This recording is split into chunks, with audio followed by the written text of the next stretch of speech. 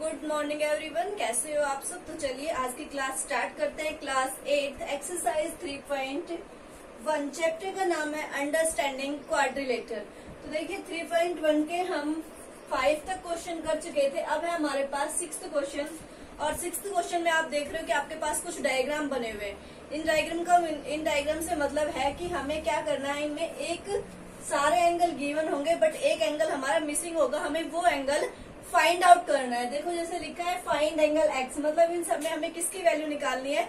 Angle x की value निकालनी। तो देखिए फ़र्स्ट पार्ट ए पार्ट देखिए, इसमें है हमारे पास एक, देखिए कितनी साइड है। वन टू थ्री फोर जब भी हमारे पास किसी में भी फोर साइड होती है किसी तरह तो कैसा होता है? वो क्वाड्रिलेटरल क्या होता है? वो क्वाड्रिलेटरल और एक प्रॉपर्टी आपने पढ़ी थी कि क्वाड्रिलेटरल के इंटीरियर एंगल का सम कितना होता है? 360 डिग्री क्वाड्रिलेटरल के इंटीरियर एंगल का सम कितना होता है? 360 डिग्री तो लिख दीजिए यहाँ से कि we know that we know that angle A plus angle B plus angle C plus angle D कितना होता है? 360 डिग्री आप देखो एंगल ए एंगल ए कितना गिवन है? 130 डिग्री एंगल बी कितना गिवन है? 120 डिग्री एंगल सी की वैल्यू कितनी है? X degree plus angle D कितना है आपका? 50 डिग्री तो यहाँ से निकाल दो इनकी वैल्यू 360 अब इनको ऐड कर दो. 130 और 120 कितने होंगे? 250 250 और प्लस 50 300 सो ये हो गया 300 plus X plus is equal to में 360 डिग्री सो एक्स की वैल्यू कितनी आ जाएगी? 360 माइनस थ्री हंड्रेड डिग्री तो एक्स की वैल्यू आ गई सिक्सटी डिग्री मतलब एक्स कितना है आपका? सिक्सटी डिग्री का। तो आपको क्या पता था, अभी हमने चार साइड है, पहले देखिए हमने चार साइड है। चार साइड किसमें होता है? क्वाड्रिलेटर में। और क्वाड्रिलेटर के इंटीरियर एंगल का सम कितना होता है? प्रॉपर्टी से 360 डिग्री। तो हमने सारे एंगल लिख दिए। चार एंगल थे। Angle A plus angle B plus angle C plus angle D is equal to कितना होता है? 360 डिग्री। अब एंगल ए की वैल्यू 130 गिवन है। एंगल बी की वैल्यू 120 गिवन है। एंगल सी की वैल्यू एक्स गिवन है। एंगल डी की 50 इसको सोल्व कर ले तो एक्स की वैल्यू आ गई। तो देखिए आपका फ़र्स्ट पार्ट हो गया। ठीक है, अब देखिए अपना सेकंड पार्ट देखिए सेकंड पार्ट में आप पहले देखो डायग्राम आपके पास कितने हैं? कितनी साइड है? वन टू थ्री फोर कितनी साइड है? फोर मीन्स ये भी आपका कैसा है? एक क्वाड्रिलेटरल है। बट इसमें देखो, आप क्या मान लो? जैसे ये वाला एंगल आप मान लो एंगल वन टू थ्री और फोर क्या नाम दे दिया? भाई ये वन है, ये टू है, ये थ्री और ये फोर आपको किसकी वैल्यू निकालनी है? एक्स की। लेकिन इसमें आपको गिवन कितने हैं? टू ही गिवन है। पता कितने होने चाहिए आपको थ्री देखो ये वाला एंगल कितना होता है ये जो साइन होता है इसका मतलब क्या है? ये परपेंडिकुलर परपेंडिकुलर का मीन्स क्या होता है? ये वाला एंगल 90 डिग्री और लीनियर पेयर पे ये वाला एंगल भी कितना होता है आपका? 90 डिग्री कितना होता है? 90 डिग्री सो so, ये वाला एंगल वन भी कितना हो जाएगा आपके पास? 90 डिग्री ठीक है तो इसको नाम दे दो ये आपका एंगल फाइव तो लिखो यहाँ सबसे पहले कि angle one is equal to angle five is equal to ninety degree किससे हो जाएँगे ये? लीनियर पेयर से ठीक है, अगर ये एक एंगल अगर हमारे पास, देखो मैं फिर बता रही हूँ, अगर आपके पास ये ऐसी लाइन है और ये वाला एंगल 90 डिग्री का, ये किसका साइन होता है? 90 डिग्री का। अगर ये 90 डिग्री तो इधर वाला भी कितना होगा आपका? 90 डिग्री का लीनियर पेयर से भी लिख सकते हो परपेंडिकुलर से भी लिख सकते हो। उसके बाद देखो आपके पास, अब ये क्वाड्रिलेटर बन रही अंदर वाली one two three four four side है। तो लिखो वी नो दैट एंगल का नाम लिख दो। Angle one plus angle two plus angle three plus angle four कितने होते हैं? 360 डिग्री अब एंगल वन देखो कितना आया हमारे पास। Angle one is equal to 90 degree angle one 90 degree है। एंगल टू कितना है? 60 डिग्री है। एंगल थ्री कितना है? 90 डिग्री है। प्लस एंगल फोर कितना है? एक्स है तो ये हो गया 360 डिग्री तो सोल्व करो 90 और 90 180 180 और 60 240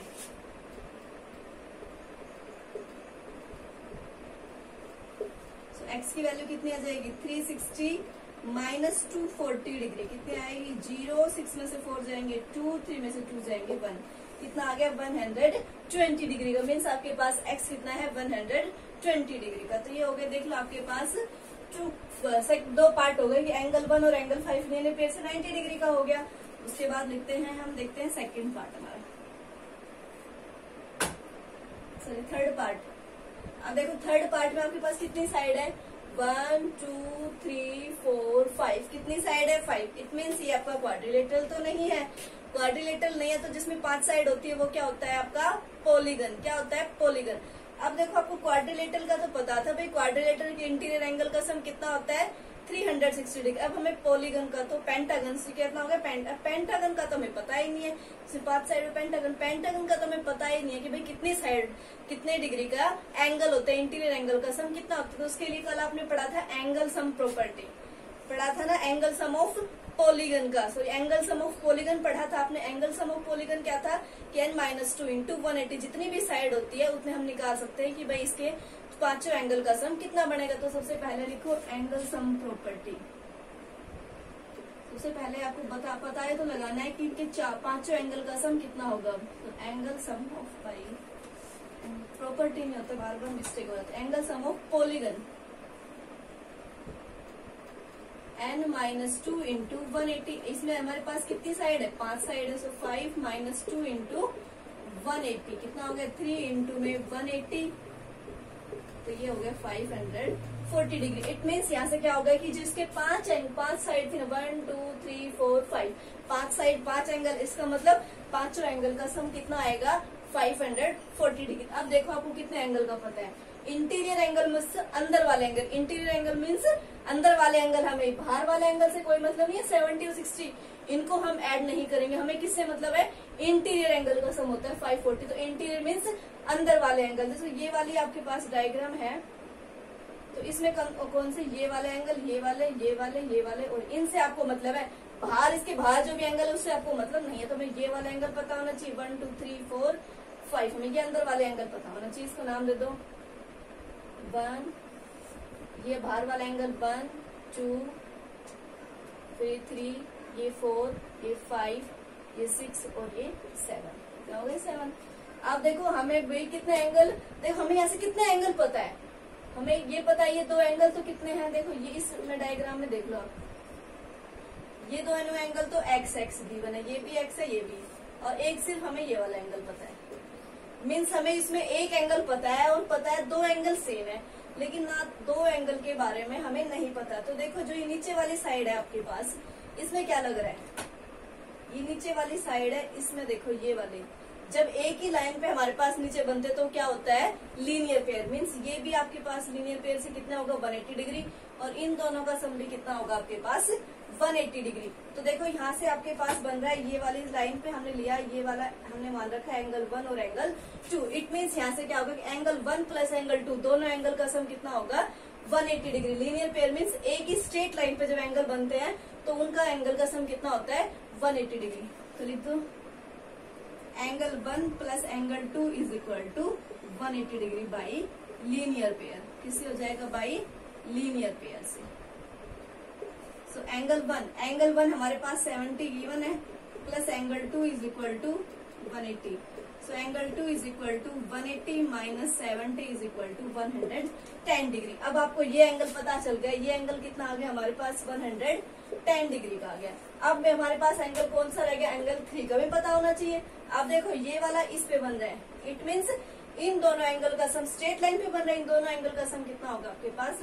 180 degree angle three plus angle four तो angle three plus angle four is equal to one eighty degree किससे होगा बाई लीनियर पेयर किससे हो जाएगा बाई लीनियर पेयर से? So angle three plus angle four angle three निकालना है हमें. एंगल फोर गिवन है sixty degree is equal to one eighty so angle three is equal to one eighty minus sixty one hundred twenty degree अब देखो, यहाँ से आपको पास क्या मिल गया? आपको एंगल टू एंगल थ्री कितना बन गया? One hundred twenty. अब आपको पता है सारे एंगल, ये थर्टी हो गए, वन हंड्रेड टेन, ये वन हंड्रेड दोनों एंगल सेम है तो निकाल दो। मैं अब कर रही हूँ, ठीक है?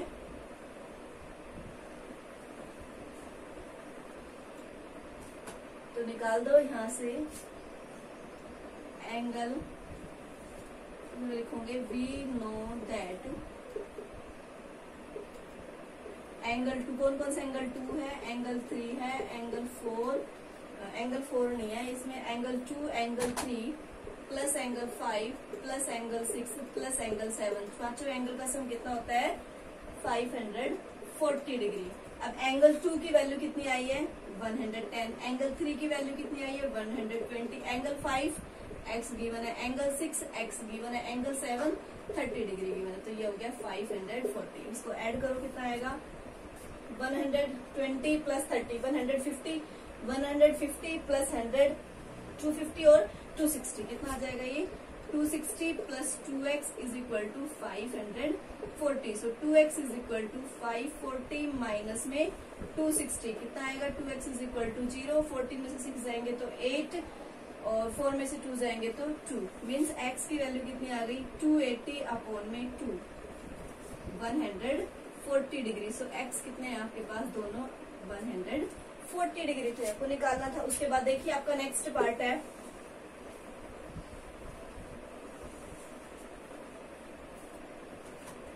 अब देखिए डी पार्ट अब डी पार्ट देखो, इसमें आपके पास क्या गिवन है? कोई भी एंगल गिवन नहीं है।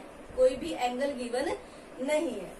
अब देखो, यहाँ से आपके पास क्या हो गया? ये जो इक्वल का साइन इस इट मीन्स कि सारे एंगल क्या है हमारे पास? इसमें इक्वल है। इसका मतलब क्या हो गया? जैसे ये आपके पास, मैं अगर किसी में भी ये वाला साइन लगा देती हूँ डबल का, इसका मतलब क्या होता है कि जिसपे भी डबल का साइन लगा है वो कैसे हैं सारे इक्वल है। इसका मतलब क्या होता है? इक्वल का ही होता है ना? इसका मतलब इसमें सारे एंगल क्या है आपके पास?